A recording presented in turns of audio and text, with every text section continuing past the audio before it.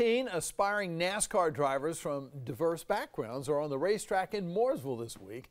It's all part of NASCAR's drive for diversity. Those drivers hope to follow in the tire tracks of stars such as Bubba Wallace, Daniel Suarez, and Kyle Larson. And for many, striving for that goal means making a big sacrifice. WBTV's David Whisenant is live at the Trackhouse Motorplex in Mooresville where this racing combine is going on. And uh, David, you know, we hear about the NFL combine, but when it's a racing combine, what exactly does that mean?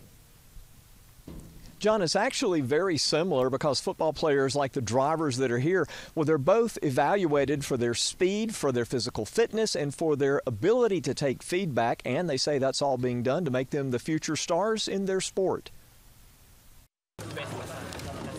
Nathan Lyons is just 14 years old, but he's mixing it up pretty well on the track today. That's good because when he's off the track, he'll be evaluated for how he did. Um, That's the story for Nathan and 14 other drivers from the ages of 12 to 20 something here today, and that's why they have a camera mounted on the go kart. Nathan's story began when he was six, and other than a love for Lightning McQueen, he had no interest in NASCAR. But then there was this reading contest. I had a program at my school and they gave us free NASCAR tickets.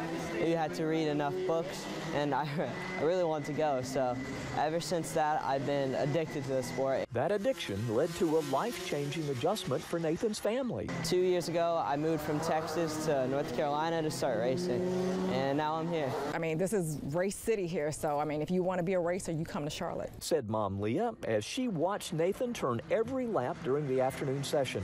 All of these drivers here say they have that dream of competing at NASCAR's highest levels. I hope so. It's the ultimate goal. Um, that's why we made the big move to pursue it. And NASCAR says the Drive for Diversity program was designed to get them there. So it'll be evaluated on how well they take and apply feedback, uh, you know, how, how physically fit uh, that they are. You know, these carts are pretty heavy and they're pretty, pretty quick, so they get around. It's a good workout for the drivers. Coaches give feedback on everything from driving to fitness to how to speak to reporters. The ideal driver is fast. The ideal driver has, uh, has a great personality uh, and, and is willing to learn. Nathan Lyons hopes he fits the bill, and he says once he discovered racing, everything changed. Before that, I was just a normal kid playing with crayons. I just want him to go as fast as he can and do the best that he can.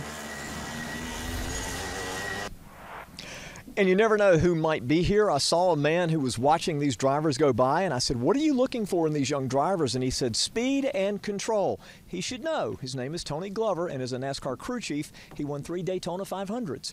Reporting live in Mooresville, David Whisenant, WBTV, on your side. All right, David, they sure do have the need for speed. Good stuff out there. Thanks. Molly?